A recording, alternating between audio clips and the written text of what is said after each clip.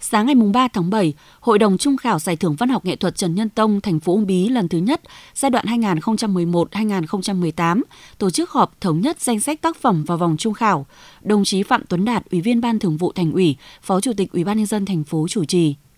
Giải thưởng Văn học nghệ thuật Trần Nhân Tông lần thứ nhất giai đoạn 2011-2018 là giải thưởng lần đầu tiên được thành phố Uông Bí tổ chức, dành riêng cho lĩnh vực văn học nghệ thuật. Giải thưởng nhằm tôn vinh các tác phẩm văn học nghệ thuật có giá trị cao về tư tưởng, nghệ thuật viết về Uông Bí, về Đảng, Bác Hồ, đất nước và những vấn đề của đời sống xã hội. Đồng thời, động viên khuyến khích văn nghệ sĩ sáng tác nhiều tác phẩm văn học nghệ thuật có giá trị, phục vụ nhiệm vụ chính trị của địa phương, đáp ứng nhu cầu hưởng thụ văn học nghệ thuật của nhân dân, nâng cao ý thức trách nhiệm và năng lực sáng tạo của đội ngũ sáng tác văn học nghệ thuật thành phố.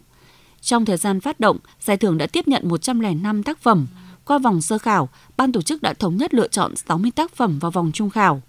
Phát biểu tại hội nghị, đồng chí Phạm Tuấn Đạt, Ủy viên Ban Thường vụ Thành ủy, Phó Chủ tịch Ủy ban nhân dân thành phố đánh giá cao chất lượng các tác phẩm tham gia giải thưởng năm nay, đồng thời mong muốn hội đồng trung khảo tiếp tục tập trung trí tuệ, trách nhiệm, đảm bảo kết quả trung khảo khách quan, chính xác, thuyết phục.